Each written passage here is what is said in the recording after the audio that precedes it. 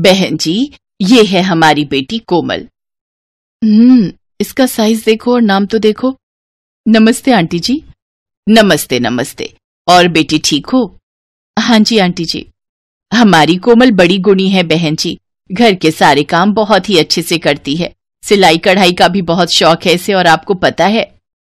हाँ हाँ ये सब तो लड़कियों को आना ही चाहिए। ये बात तब की है जब ललिता कोमल को देखने के लिए उसके घर गई थी। और हुआ कुछ यूँ कि पहली ही नज़र में कोमल ललिता को बिल्कुल पसंद नहीं आई। हालाँकि कोमल देखने में थी तो बहुत सुंदर, लेकिन वो थोड़ी मोटी थी। बावजूद इसके ललिता के बेटे कल्पेंद्र को कोमल पहली ही नज़र में भाग गई और अपने बेटे की पसंद के आगे ललिता को झुकना पड़ा और ना चाहते हुए भी कोमल उसके घर की बहू बन गई। फिर करीब दो सालों के बाद, अरे कोमल, कहाँ है? कहाँ चली गई?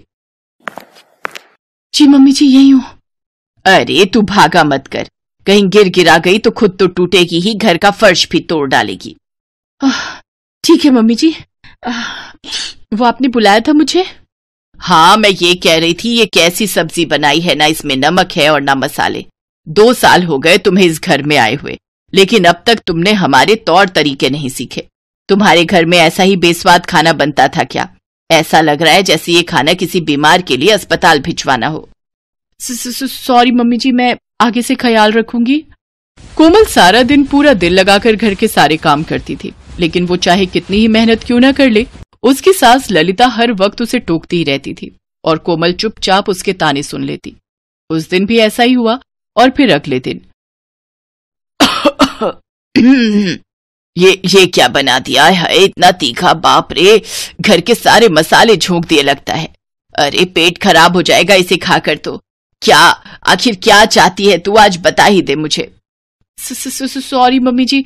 वो वो वो मैं कल आपको खाना फीका लगा था तो तो मैंने आज हाँ तो आज तूने मुझसे बदला लिया है ना? खाने में इतनी मिर्ची झोंक कर हे मेरे भगवान अब तो कुछ कह भी नहीं सकते। गजब की ढीठ बहू मिली है हमें। कोमल की ज़िंदगी ऐसे ही कटी जा रही थी। ललिता दिन भर उसे कोसती रहती और वो बेचारी अपनी सास को कभी पलटकर जवाब नहीं देती। फिर एक सुबह, अरे कोमल! हाँ जी, मम्मी जी। ये पूरा फ्रिज खाली क्यों पड़ा है? क्या भूख हड़ताल कराने का इरादा है क्या? मम्मी जी, वो इन्होंने कहा था कि ये ऑफ़िस से लौटते हुए सब्ज़ियाँ लेते आएँगे, पर वो कल लेट हो गए थे ना, इसीलिए सब्ज़ियाँ नहीं ला पाए। हाँ तो अगर वो लेट हो रहा था तो तू ही ले आती। वैसे भी दिन भर काम ही क्या होता है? सारे काम तो उल्टे सीधे ही होते हैं तुझसे। उसमें भी सारा दिन गुजार देती है। अरे, मैं तो अपनी जवानी में ऐसे झट से सारे काम कर दिया करती थी और किसी को शिकायत का एक मौका नहीं मिलता था। जी, मम्मी जी। चल, अब जल्दी जाकर बाज़ार से सब्ज़ी लेकर आ। और हाँ आते हुए मेरे लिए एक अनार का जूस भी पैक करा लेना। ठीक है, मम्मी जी। ललिता की सख्ती कोमल पर बढ़ती जा रही थी। ललिता ये मान चुकी थी कि इस दुनिया की सबसे कामचोर बहू उसी की है। हालाँकि मोहल्ले की औरतें कोमल की तारीफ़ ही करती थी, लेकिन ललिता हर किसी से अपनी बहू की बुराई ही करती रहती थी। उधर कोमल उदास मन से हाथ में थैला और कुछ पैसे लिए बाज़ार की तरफ़ बढ़ रही थी। तभी उसे एक दीवार पर एक बड़ा सा पोस्टर दिखाई दिया। उसने सरसरी नज़र से उस पोस्टर को पढ़ना शुरू किया। ललिता कला एकेडमी। एक बार फिर आपके शहर में आयोजित करा रहा है भरतनाट्यम नृत्य प्रतियोगिता। प्रतिभागी की उम्र होनी चाहिए 18 से पैंसठ साल के बीच और प्रतियोगिता जीतने वाले को मिलेगा एक लाख का नगद पुरस्कार। उस पोस्टर को पढ़ते पढ़ते कोमल की आँखों में चमक आ गई, लेकिन जैसे ही उसने अगली लाइन पढ़ी, उसका चेहरा फिर उदास हो गया। उस पोस्टर के आखिर में लिखा था कि प्रतियोगिता में भाग लेने की फ़ीस पाँच हज़ार रूपए थी। कोमल ने फिर पोस्टर को अनदेखा कर दिया और थैला लेकर आगे बढ़ गई। फिर सब्जियों और अनार का जूस पैक कराकर घर चली गई। फिर अगली सुबह अचानक कुछ शोर सा हुआ तो कोमल चौंक कर बिस्तर से उठ गई। सुबह के साढ़े पाँच बज रहे थे और उसकी सास ललिता के कमरे से कुछ आवाज़ें आ रही थी। अरे, ये शोर कैसा? आवाज़ तो मम्मी जी के कमरे से आ रही है। कोमल धीरे धीरे ललिता के कमरे के दरवाजे के पास पहुँची, तभी उसे सुनाई दिया। तई थक, तई तई थक, तई। ललिता भरतनाट्यम की प्रैक्टिस कर रही थी और वो आवाज़ उसके पैरों पर बंधे घुंघरुओं से आ रही थी। कोमल ललिता को भरतनाट्यम करते देख हैरान रह गई, क्योंकि ललिता वाकई अच्छा नृत्य कर रही थी। तभी कोमल की नज़र पास ही रखे टेबल पर पड़ी, जिसके ऊपर उसी डांस प्रतियोगिता का एक पैम्पलेट पड़ा हुआ था, जिसे देखते ही कोमल समझ गई कि उसकी सास उस प्रतियोगिता में हिस्सा ले रही है। उस दिन कल्पेंद्र के ऑफ़िस की छुट्टी थी तो दोपहर में खाने की मेज पर। मम्मी जी वो एक बात करनी थी आपसे। हाँ बोल क्या बात है? मम्मी जी बहुत दिन हो गए मायके गए। माँ बाबूजी कब से याद कर रहे हैं तो तो मैं सोच रही हूँ कि कुछ दिनों के लिए रह आऊँ उनके पास। अरे लेकिन घर के काम? माँ घर के कामों की चिंता मत कीजिए। पड़ोस वाले अग्रवाल जी के यहाँ जो मेड आती है वो आकर हमारे घर के भी सारे काम कर दिया करेगी। जब तक कोमल वापस नहीं आ जाती आ, प्लीज़ माँ, जाने दीजिए इसे। बहुत मन है इसका। कल्पेंद्र के सामने ललिता ज़्यादा कुछ बोल नहीं पाई और उसने कोमल को उसके मायके जाने की इजाज़त दे ही थी फिर उसी शाम। आपको पता है, मम्मी जी बहुत अच्छा भरतनाट्यम करती हैं। कल्पेंद्र कुछ कह पाता उससे पहले ललिता वहाँ गई और उसने कोमल को बीच में ही टोकते हुए कहा, मैं तो कई साल से भरतनाट्यम करती आ रही हूँ। पता है, मुझसे अच्छा भरतनाट्यम तो इस पूरे शहर में कोई नहीं कर सकता। और वैसे भी तुम क्या जानो कला क्या होती है। तुम्हें तो बस खाने और सोने में महारत है। ललिता की ये बात कोमल के साथ साथ कल्पेंद्र को भी बुरी लगी, लेकिन उन दोनों ने ही ललिता से कुछ नहीं कहा। अगले दिन कल्पेंद्र कोमल को उसके मायके छोड़ आया देखते ही देखते दस दिन बीत गए और दूसरी तरफ़ भरतनाट्यम प्रतियोगिता का फिनाले शुरू हो गया। हेलो फ्रेंड्स जैसा कि आप जानते हैं कि पिछले दस दिनों से हमारी ये प्रतियोगिता जारी है और पूरे शहर के पहले 200 कैंडिडेट्स और फिर कई लेवल्स पार करते हुए हमें मिल चुके हैं हमारे दो फाइनलिस्ट जिनके बीच आज होगा फाइनल मुकाबला। खास बात यह है कि हमारी ये दोनों फाइनलिस्ट भी एक दूसरे से आज पहली बार मिलेगी। आज का ये मुकाबला बहुत खास है, क्योंकि आज कोई जज नहीं होगा। क्योंकि आज कोई जज नहीं होगा, बल्कि दोनों कंटेस्टेंट परफॉर्म करेंगी और हमारे दर्शक ऑन द स्पॉट विजेता का फैसला करेंगे। तो हो जाइए तैयार, क्योंकि अब मैं बुलाने जा रही हूँ हमारी पहली कंटेस्टेंट ललिता जी को। जोरदार तालियों से स्वागत कीजिए उनका। ललिता अपने घमंड में चूर इतराती हुई स्टेज की तरफ़ बढ़ी। उसे पूरा यकीन था कि ये प्रतियोगिता तो वही जीतेगी, इसलिए उसे अपने प्रतिद्वंदी का नाम तक जानने में कोई इंटरेस्ट नहीं था। तभी पास खड़ी होस्ट ने कहा, और अब स्वागत कीजिए हमारी दूसरी फाइनलिस्ट मिसेस कोमल का। एंकर के ऐसा कहते ही कोमल भरतनाट्यम की पोशाक में स्टेज पर चली आई। और उसे इस तरह वहाँ देखकर ललिता का मुँह खुला का खुला ही रह गया। तभी कोमल ने आगे बढ़कर ललिता के पैर छुए। ये देखकर वहाँ हर कोई हैरान रह गया और फिर प्रतियोगिता शुरू हो गई। ललिता ने बहुत अच्छा भरतनाट्यम किया, लेकिन अब बारी थी कोमल की। कोमल ने पहले ही थाप में ऐसी मुद्रा बनाई और चेहरे पर ऐसे भाव दिए कि वहाँ मौजूद हर शख्स ताली बजाने लगा। दर्शकों ने एक सुर में कोमल को विजेता चुन लिया और फिर और इसी के साथ ये फिनाले खत्म हुआ, पर हमें अभी अभी पता चला है कि कोमल जी और ललिता जी सास बहू हैं। यानी इत्तेफाक से हमारे दोनों फाइनलिस्ट एक ही घर से हैं। मतलब जीते चाहे कोई भी ट्रॉफी तो एक ही घर में जाएगी। क्योंकि, क्यों ललिता जी? सही कहा ना मैंने? माफ़ कीजिएगा, पर मैं आज आप सबके सामने कुछ कहना चाहती हूँ। अब तक मैं एक बहुत अलग इंसान थी। अपनी बहू को मैंने कभी अपनी बेटी नहीं माना। मुझे हमेशा यही लगता रहा कि वो मेरे घर और मेरे बेटे के लायक नहीं, लेकिन आज मेरा घमंड चूर चूर हो गया। मेरी बहू आज मुझ पर भारी पड़ी। उसने साबित कर दिया कि वो मुझसे कई मायनों में बेहतर है। पर अच्छी बात यह है कि मेरी ख्वाहिश थी, ये ट्रॉफी मैं अपने साथ अपने घर लेकर जाऊँ, और मेरी ये ख्वाहिश मेरी बहू ने पूरी कर दी। ये कहकर ललिता ने कोमल को गले से लगा लिया। ललिता और कोमल की आँखों में खुशी के आँसू थे और पूरा हॉल तालियों की आवाज़ से गूंज रहा था। ससुराल हर लड़की का सपना होता है और वहाँ पर बिताया पहला दिन शायद ही कोई लड़की हो जिसे याद ना रहे। ऐसी ही ये कहानी है करिश्मा की, जिसका ससुराल में पहला दिन होता है।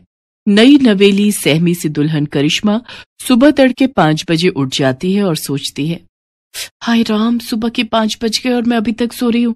जल्दी से उठकर नहा लेती हूँ, नहीं तो सब लोग क्या कहेंगे? करिश्मा जल्दी से नहाकर बाहर आती है और पूजा पाठ करके किचन में चली जाती है। अरे, अभी तो ठीक से सुबह भी नहीं हुई, फिर ये किचन में से कैसी आवाज़ें आ रही हैं? कहीं अपने यहाँ कोई चोर तो नहीं आ गया?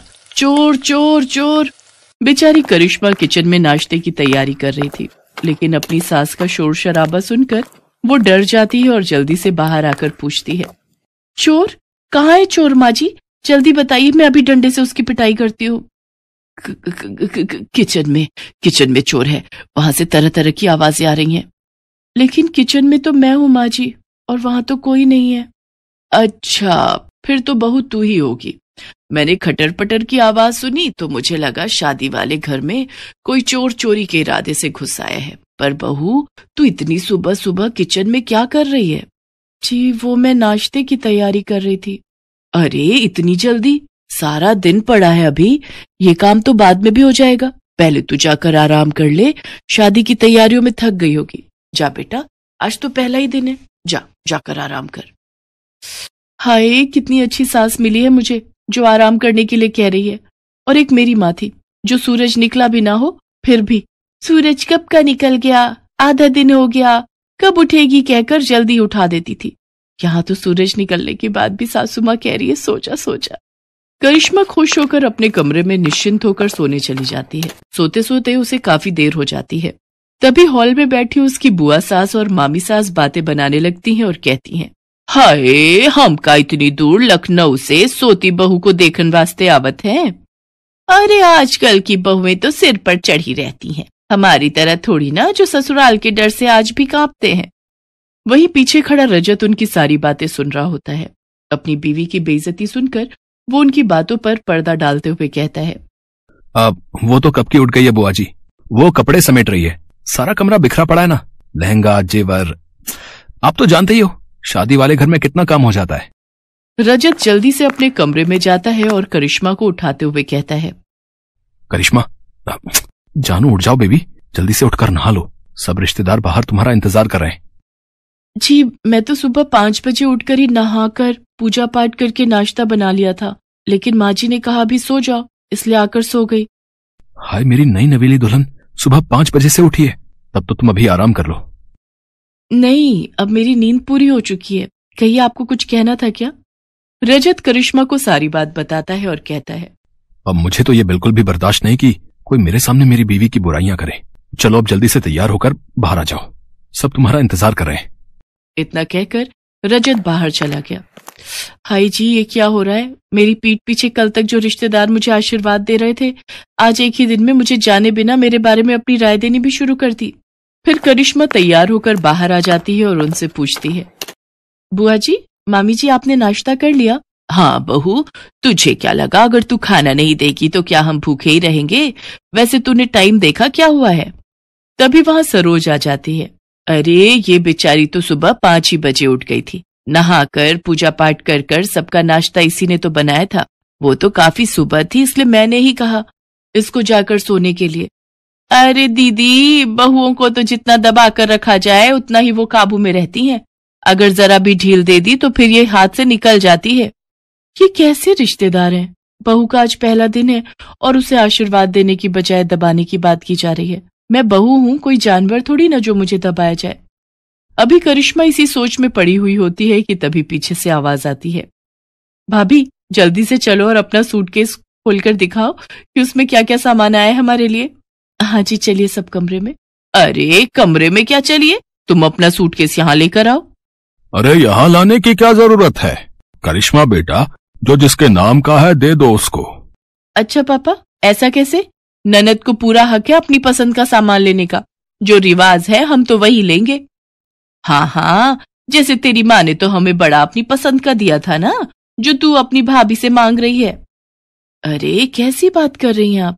आपने तो मेरी सबसे पसंदीदा जरकन वाली साड़ी पर हाथ रख दिया था, और मैं बेचारी मना भी ना कर पाई। बेचारी करिश्मा भारी सूटकेस उठाकर हॉल में लाती है। और जैसे ही उसका सूटकेस खुलता है तो उसकी पसंदीदा साड़ी उसकी ननद तान्या ले लेती है और वो बेचारी मन ही मन सोचती है, हाय, ये तो मेरी फेवरेट साड़ी है। अच्छा अब मेरे निकलने का वक्त हो रहा है, लेकिन सोच रही हूँ जाने से पहले एक बार नई बहू के हाथ का मीठा चख लूँ। हाँ हाँ ज़रूर बुआ जी, आप बैठिए, मैं अभी आप सबके लिए हलवा बना कर लाती हूँ। हलवा नहीं भाभी, हमारे यहाँ तो मीठे में बहू खीर ही बनाती है तो आपको भी वही बनानी है। खीर। करिश्मा की माँ ने मीठे में हलवा बनाना सिखाया था। वो भी उसने शादी से हफ़्ता भर पहले ही सीखा था। हे भगवान, मैंने तो माँ से हफ़्ता भर हलवा बनाने की ट्रेनिंग ली थी, लेकिन खीर कैसे बनाते हैं वो तो मुझे आता ही नहीं। एक काम करती हूँ, जो हलवे की रेसिपी है, वही खीर के लिए इस्तेमाल करती हूँ। कुछ देर बाद करिश्मा खीर लेकर आती है। हम्म भुने हुए चावल की तो अच्छी खुशबू आ रही है। बस जरा दूध में चावल ठीक से मिक्स नहीं हो पाए। ये लो बहू, तुम्हारी पहली रसोई का सगुन। बुआ सोने की चेन बहू को गिफ्ट में देती है। मामी सास भी उसके लिए सोने की अंगूठी लाई होती है। आप सबने मेरी बहू को समझा, वही हमारे लिए काफ़ी है। इन सब चीज़ों की कोई ज़रूरत नहीं थी। ज़रूरत कैसे नहीं थी, दीदी? ये क्या तुम्हारी ही बहू है, हमारी नहीं? हाँ इसकी अहमियत हमारे लिए भी उतनी ही है जितनी तुम्हारे लिए। बहू अब तू थक गई होगी। जा बेटा अपने कमरे में जाकर आराम कर। करिश्मा उन सबके पैर छूकर कमरे में चली जाती है। आज शाम को बहू के मम्मी पापा आने वाले हैं। देखते हैं क्या लेकर आते हैं। वही लाएँगे जो तुम्हारे लाए थे। खाली हाथ ही आएँगे और क्या। और जो शगुन से पहले ट्रक भर कर आया था उसका क्या? वो तो आपको याद नहीं। चलो अब तो मैं चली अपने घर। आप दोनों ननद भाभी शादी के तीस साल बाद भी लड़ती ही रहो। हाँ हाँ मैं भी चलती हूँ। इसके बाद वो वहाँ से चली जाती है। शाम को करिश्मा के माता पिता उसके ससुराल आते हैं।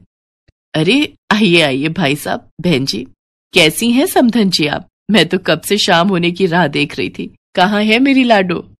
वो तैयार हो रही है। वैसे शाम की राह क्यों देख रही थी? अब तो एक ही घर है, पहले ही आ जाती। जी, वो तो है। उधर करिश्मा रजत से कहती है, सुनो जी, मुझे न शर्म आ रही है साड़ी पहनकर मम्मी पापा के सामने जाने में। आज तक पहनी नहीं ना? अब ये लो सूट मैं तुम्हारे लिए लाया था। इसे पहन लो मम्मी से मैं बात कर लूँगा। करिश्मा सूट पहनकर तैयार हो जाती है और सबके सामने आ जाती है। लो जी आ गई हमारी बहू। देखो तो सूट में कितनी प्यारी लग रही है। बहू तू ना सूट भी पहना कर। बड़ी प्यारी लगती है सूट में। इसके बाद करिश्मा को सब अच्छा लगने लगता है। उसकी शादी का पहला दिन उसके लिए खट्टा मीठा भरा रहता है। लेकिन प्यार करने वाले पति सास ससुर और ननद पाकर वो खुश हो जाती है।